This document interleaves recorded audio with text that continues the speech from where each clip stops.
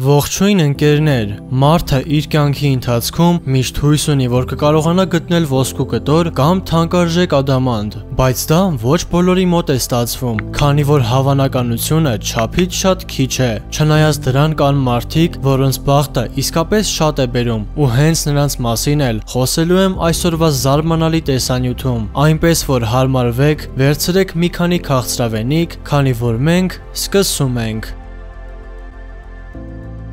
Մերի Գրամս Երբ Մերին նկատեց ֆերմայում աշխատելու ընթացքում, որ կորցրել է թանկարժեք մատանին, շատ տխրեց, քանի որ դա նրա մոտ էր ավելի քան 50 տարի։ Դեպքը տեղի է ունեցել 2004 թվականին, եւ Մերին արդեն համակերպվել էր այն մտքի հետ, որ այլևս երբեք չի գտնի։ Զարմանալին այն է, որ ավելի քան 10 տարի նա բոլորից թաքցրել է կորուստը, քանի որ գիտեր, որ ամուսինը շատ կտխրի։ Այդ պատճառով գնել էր էժանագին կրկնօրինակը։ Այս ամենով պատմությունը կարող էր ուղակի ավարտվել, բայց մի շտապեք, քանի որ 2017 թվականին Մերիի հարսը այգուց մի քանի գազար հավաքելու ընթացքում գտավ կորած մատանին։ Այն գազարի հետ միասին հայտնվել էր աղջկա ձեռքերի մեջ։ Երբ Մերին իմացավ, որ գտել են մատանին, շատ ուրախացավ, բայց րոպեներ անց փոշմանեց, որ բոլորից թաքցրել էր այդ կորուստը։ Չնայած նրան, որ այդքան տարի է անցել, մեկ է, մատանին Մերին մեծ հաճույքով շարունակում է կրել։ Ռիկ Էնտոշ Երբ դուք գնում եք ռեստորան ճաշելու, գիտեք, որ ծախսելու եք գումար, բայց Ամերիկայում ծնված Ռիկ Էնտոշ անունով տղամարդու դեպքում դա այդպես չէ։ Նա իր դպրոցական ընկերոջ հետ նստած ճաշում էր, ու մի պահ բերանի մեջ զգաց տարօրինակ իրի արկայություն։ Նա մտածեց, որ վնասվել է ատամը ու զգում էր տհաճ անհարմարություն։ Դուրս հանելուց հետո տղամարդը հասկացավ, որ գտել է իրական մարգարիտ, Զարմանալի գտածոն գրպանում դնելուց հետո որոշեց մի փոքր շփվել ռեստորանի շեֆ խոհարարի հետ։ Նա պնդեց, որ սա թանկարժեք մարգարիտ է, նաև ասաց, որ այսպիսի դեպքեր շատ են եղել։ Ահա թե ինչպես կարող եք ուղակի հաց ուտելով վաստակել 3-ից 5000 դոլար։ Ավելացնեմ, որ Ռիկը ծախսել էր ընդամենը 17 դոլար։ Դեյվիդ Զենտեր Ինքնաթիռ վարելու համար պետք է ոչ միայն լավ վարպետ լինեք, այլ նաև մի փոքր բախտավոր։ Լսեք այս պատմությունը եւ կհասկանաք թե ինչու։ Դեյվիդ Զենտերը իր կնոջ հետ անցնում էր տան վերևով ու մի պահ նկատեց, թե ինչպես է ինչ որ անծանոթ տղամարդ քայլում կողքով։ Վերջի վերջո հանցագործը թրեյլերը կապեց իր պիկապից եւ հեռացավ։ Դեյվիդը որոշեց, որ պետք է հետևի նրան ու ավելի քան 11 կիլոմետր օթով հետևելուց հետո կանգ առավ ոստիկանական բաժանմունքում եւ տեղեկ տեղեկացրեց հանցագործի մասին։ Նրան շատ արագ ձերբակալեցին, իսկ թրեյլերը վերադարձրեցին Դեվիդ Զենտրին։ Իսկապես զարմանալի դեպք։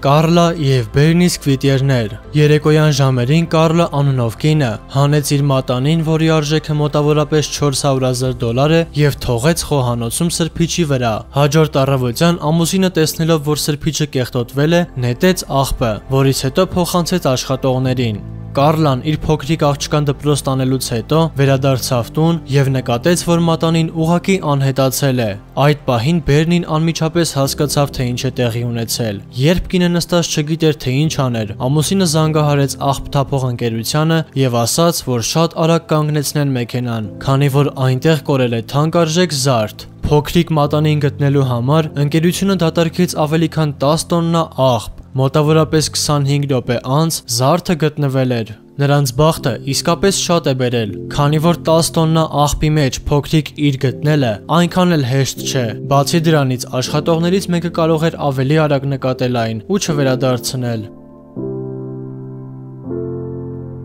Խոզե Մարկես 2016 թվականի հունվար ամսին Կոլորադո նահանգում հանցագործները վնասազերծել էին շերիֆի օգնականին։ Իհարկե, դա սարսափելի դեպք է, բայց Խոզե Մարկեսի բախտը իսկապես շատ է բերել։ Նա կարող էր ուղակի մահանալ, եթե չլիներ այս պատահականությունը։ Հունվարի 26-ին նա իր քրոջ տանն էր, ու մի պահ որոշեց դուրս գնալ մեքենայի միջից հագուստ վերցնելու համար։ Այդ պահին նրան մոտեցան երկու երիտասարդներ, որոնք դիմակ էին կրում։ Վարկաններ անց սկսվեց իրական փոխերաձգություն, եւ շերիֆի օկնականին սարսափելի վնասներ հասցրեցին։ Այդ պահին Մարկեսը իրական հրաշք գործեց։ Նա այնպես կրակեց, որ փամփուշտը հարվածեց հանցագործի ատրճանակի ուղիղ ծայրին, որի պատճառով այն ասարկացավ։ Այդպիսի կրակոցի հավանականությունը իսկապես շատ քիչ էր, ինչը շատ է զարմացնում։ Չնայած անհավանական բախտին, Մարկեսը ստացավ երկու սարսափելի վնաս, որոնք ընթացքում վերականգնվեցին։ Այս պահին նա շարունակում է իր աշխատանքը եւ կատարում է այն հավուր պատշաճի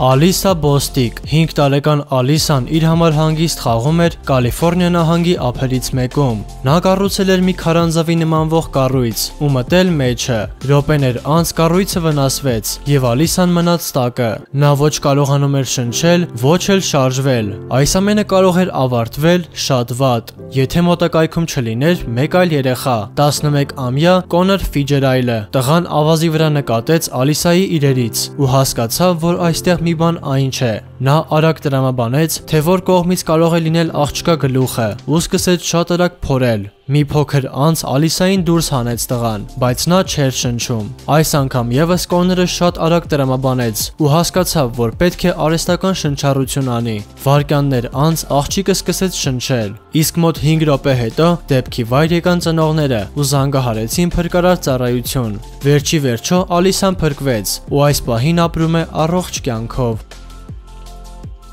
Ստիվ Ֆլեյգ Երկար տարիների ընթացքում Ստիվ անունով տղան փնտրում էր իր կենսաբանական մորը։ Նա միշտ գիտեր, որ եղել է ворթեգրված, իսկ նրան պահող ծնողները տղային հույս էին տալիս, որ կգտնի հարազատ մորը։ Երկար տարիների ընթացքում ոչինչ չէր ստացվում։ Ստիվը ուղակի չէր կարողանում գտնել Տալադայ ազգանունով կնոջ։ Վերջի վերջո պարզ դարձավ, որ նա սխալ էր գրել ազգանունը։ Այդ պատճառով ոչ ոք չէր գտնվում։ Ճիշտ տարբերակը Տելդի է։ Տղան որոշեց, որ պետք է այս դեպքի մասին պատմի իր տնորենին։ Տնորենը ասաց. «Դու երևի մեր սիրելի աշխատակից Տելդի Կրիստինին ես փնտրում»։ Այդ պահին տղան քիչ էր մնում ուշաթափվեր։ Պարզվում է, որ 5 տարվա ընթացքում մայրը աշխատում էր իր տղայի հետ, բայց նրանցից ոչ ոք չգիտեր դրա մասին։ Նրանք միշտ շատ ջերմ շփվում էին եւ կատակում միասին, չիմանալով, որ մայր ու տղա են։ Սկզբից Ստիվը շատ ուրախացավ, բայց հետո մտածում էր. արժե ասել մորը այս դեպքի մասին։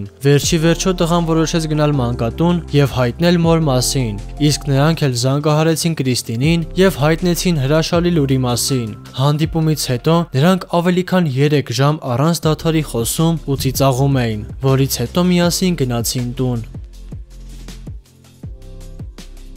Ինչպես տեսակ կան մարդիկ, որոնց բախտը իսկապես շատ է բերում, եւ նրանք գտնում են իրենց կորցրած հարազատին կամ թանկարժեք զարդ։ Իսկ այսօրվա տեսանյութը այսքանն էր։ Անպայման բաժանորդագրվեք ալիքին ու միացրեք զանգակը, քանի որ հետագայում սպասվում են. Ել ավելի հետաքրքիրները։ Դե ինչ, իսկ մենք դեռ կհանդիպենք։